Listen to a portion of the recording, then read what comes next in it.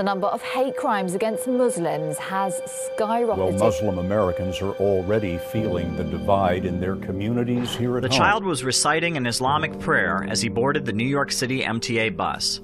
The driver heard the prayer and called the boy a terrorist Republican and ejected presidential him from the frontrunner bus. Donald Trump is facing heavy criticism after calling for a quote total and complete ban on Muslims entering the United States.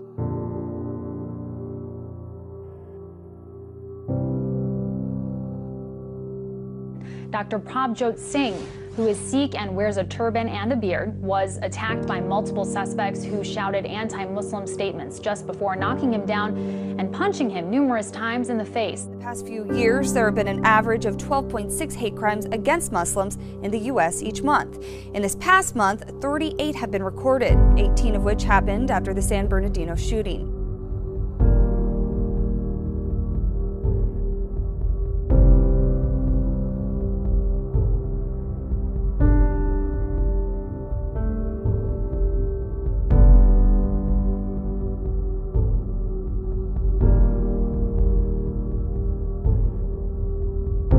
Armed protesters picketed a nearby mosque in Irving.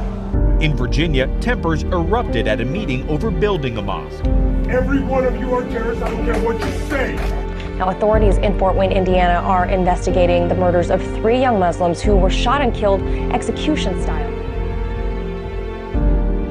In the wake of 9 11, hate crimes towards Muslim Americans and Muslim looking Americans increased throughout the U.S.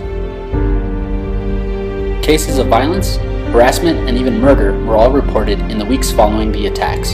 Unfortunately, these spikes of hate crime across the U.S. would not end with 9 11, but would continue with each subsequent terrorist attack in the years after